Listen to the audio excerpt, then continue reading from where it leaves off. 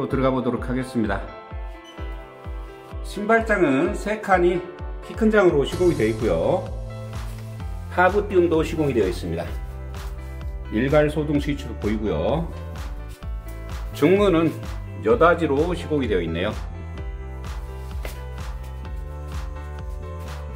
내부 바닥은 강마루로 시공이 되어 있고요. 거실의 폭은 4m가 나오고 있습니다. 층고는 2m 40이 나오고 있고요. 도로변을 끼고 있는 신축 현장입니다. 14층 74세대고요. 이 현장의 특징은 자주식 주차장으로 거실의 향은 동향이고요. 천정에 시스템 에어컨과 전열 교환기 기본 시공이 되어 있습니다. 요즘 유행하고 있는 실링팬도 기본 시공이 되어 있고요. LED 등은 매립형으로 모두 시공이 되어 있습니다. 도로변을 끼고 있고요. 거실과 주방은 일체형입니다. 주방 폭이 상당히 좋고요. 디귿자로 시공이 되어 있는 신축 현장입니다. 아일랜드 식탁 6인까지 충분히 식사할 정도로 길이감이 좋고요.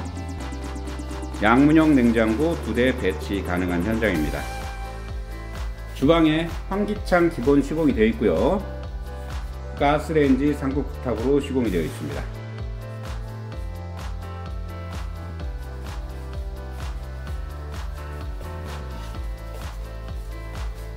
여긴 안방인데요. 안방 사이즈도 상당히 좋고요.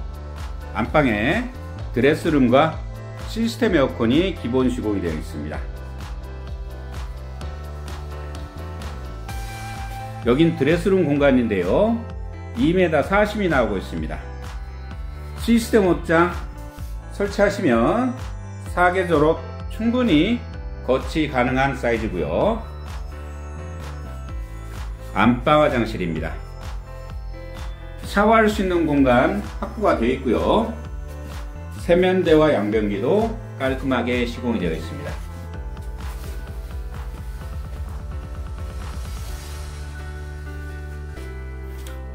여긴 두 번째 방인데요.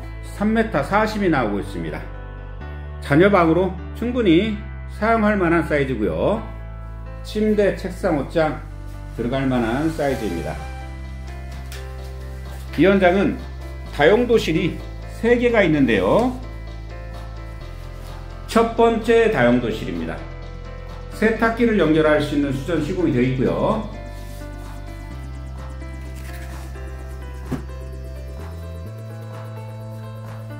안방과 두 번째 방 사이에 두 번째 다용도실이 있습니다.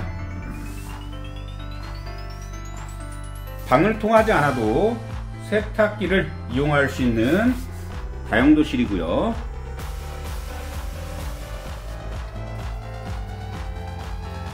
세 번째 방인데요. 세 번째 방 사이즈도 상당히 좋습니다. 침대와 옷장 충분히 들어갈 만한 사이즈가 나오고 있고요. 세 번째 다용도실입니다. 다용도실이 이 현장은 3개나 구비가 되어 있고요. 수전도 모두 시공이 되어 있습니다.